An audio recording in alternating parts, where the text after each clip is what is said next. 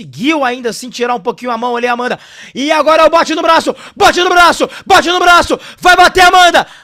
Eu acho que bateu, hein? Só que o juiz não terminou. E agora bateu, acabou! Deu Virna Jandiroba!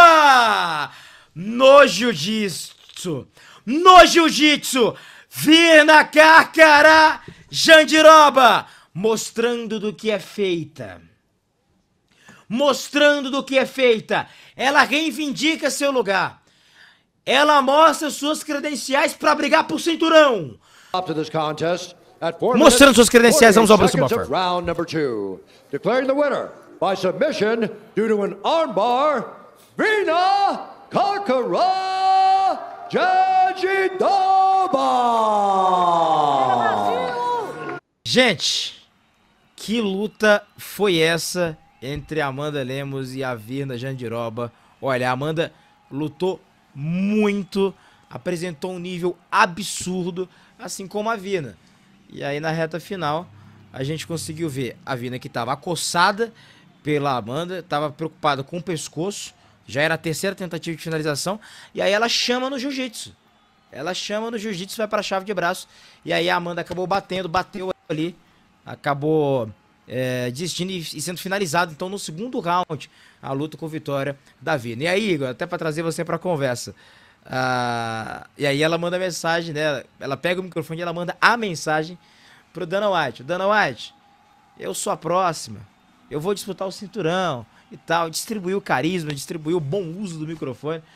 Foi demais, hein, cara? Foi demais. Tirou nota 10, né, Aldo? Primeiro que ela consegue ali uma finalização espetacular, em que ela tá nas costas com o cadeado fechado, todo mundo esperava um mata-leão para segurar um pouco, de repente, para finalizar.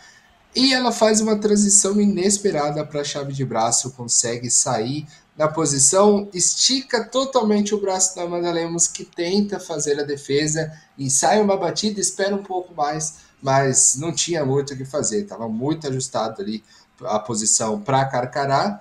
Amanda desistiu, né? Bateu em desistência e então a, a Vina Jandirova consegue muito bem a quarta vitória seguida dela, já se posiciona para disputar o cinturão como você falou, né? Tirou 10, chamou o Dana White na entrevista falando que queria não só o bônus, mas a chance de disputar o título e, e, preencheu com todos os requisitos de um bom desafiante, até porque é uma das únicas, né, que ainda não enfrentou o Eizeng.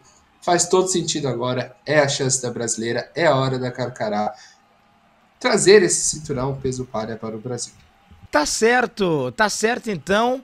Então boa sorte uh, para Virna, boa sorte para Amanda Nessa sequência, foi um evento aqui do UFC em Vegas, que os brasileiros puderam sorrir um pouquinho, nem todos, claro, mas é, os brasileiros sorriram. Então você sempre junto com a gente aqui no Super Lutas na Stake.